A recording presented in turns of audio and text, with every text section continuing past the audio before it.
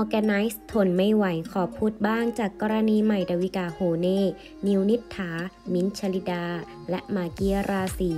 ได้เม้าท์มอยในรายการเพื่อนใหม่ของสาวใหม่ดาวิกา ที่โดนคนในวงการกัน scene โดยมีการเล่าถึงอีเวนต์หนึ่งที่มิวใหม่มิ้นต้องไปเดินแบบแล้วปรากฏว่ามีคนหนึ่งหายไป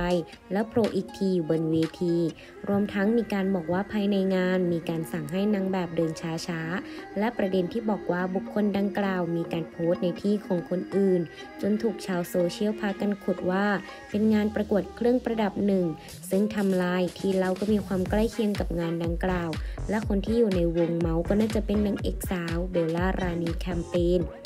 ล่าสุดวันที่ 2 มีนาคม 2566 organize จัดงานได้เผยข้อความระบุว่า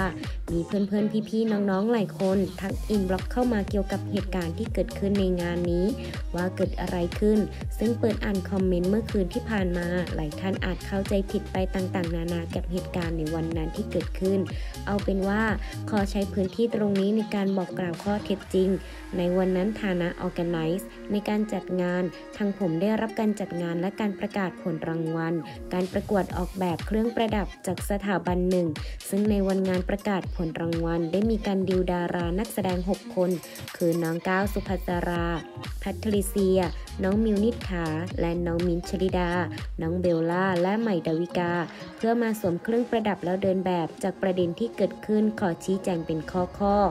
หนึ่งทำไมเบลล่าถึงต้องเปลี่ยนชุดจากสีเทาเป็นสีดำคือทางเราได้เตรียมชุดไว้หมดเรียบร้อยแล้วสำหรับน้องๆทุกคนจะเห็นชุดในห้องแต่งตัว และลอง fitting กัน หลายคนคิดว่าน้องเบลเปลี่ยนชุดเอง อันนี้ไม่จริง ถ้าน้องอยากเปลี่ยนชุด อันนี้ตอบได้เลยครับว่า ไม่จริง เพราะก่อนหน้านี้จะเดินแฟชั่นน้องสองคนที่ออกมาให้สัมภาษณ์ก่อนงาน เริ่มงานคือน้องมินและน้องเบล หลังจากนั้นสัมภาษณ์เสร็จ ก็เข้าไปด้านหลังเวที เพื่อเตรียมตัว ชุดของน้องเบลดันมีปัญหาทำให้ชุดขาด ซึ่งขาอ่อนและส่วนท้ายคือของน้อง ซึ่งไม่สามารถที่จะใส่เดินแฟชั่นได้ วิธีแก้ไขปัญหาที่ดีที่สุดคือการเปลี่ยนชุด 2. ในเรื่องจุดของโฟกัสด้วยเวทีที่มีขนาดเล็กและยังมีฉากหมุน กินพื้นที่พร้อม step เวทียกขึ้นเป็นขั้นบันไดเล็กๆหลายจุดโฟกัสและยืนของน้อง 5 คนจึงดูเบียดกัน 3. ตอนประกาศผลรางวัล ด้วยน้องผู้เข้าประกวดและคณะกรรมการดารา ประธานผู้มอบรางวัลทั้งหมด 20 กว่าคน ด้วยพื้นที่ขนาดเล็ก คนบนเวทีทำให้เบียดกันแน่น ช่วงรับรางวัลจึงต้องเบียดกันหรือแทรกกัน 4. หลายคนสงสัยว่าทำไมมี 5 คน 9. มิวแพทเบลและใหม่ส่วนน้องมิ้นหายไปไหน น้องมิ้นนั้นได้เดินแบบไปก่อนหน้านี้แล้ว ในรางวัลเครื่องประดับที่รับผลโหวตมากที่สุด ซึ่งไม่เดินรวมกับ 5 คนคือข้อเท็จจริงทั้งหมดเกี่ยวกับเหตุการณ์ที่เกิดขึ้นในวันนั้น ซึ่งไม่ได้มีอะไรแต่อย่างใด หลายคนคิดว่า โยงทำเป็นประเด็นในกระแสวันนี้